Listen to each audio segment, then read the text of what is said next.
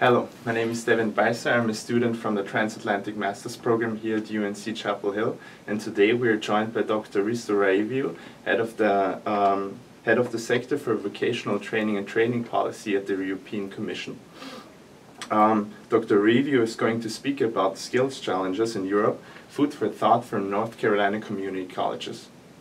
Um, Dr. Raivio, what implications does your research have for finding possible solutions uh, for the economic crisis in Europe?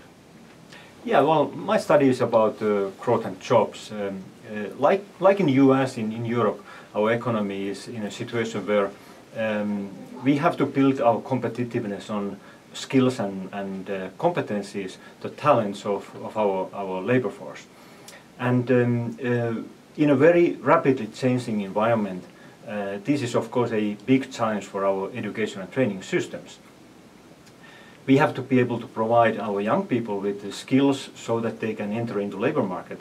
And uh, similarly, those who are already, already on the labor market, they have to have opportunities to constantly upgrade and um, retrain themselves and, and um, update and um, um widen their uh, skills uh, profiles so that they can um, adapt to, to situations in, in changing, changing labor markets.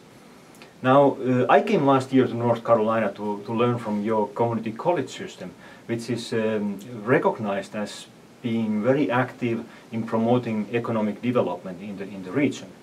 And uh, in today's lecture I will actually explain shortly the key findings that I identified what European policymaking could learn from North Carolina Community College system.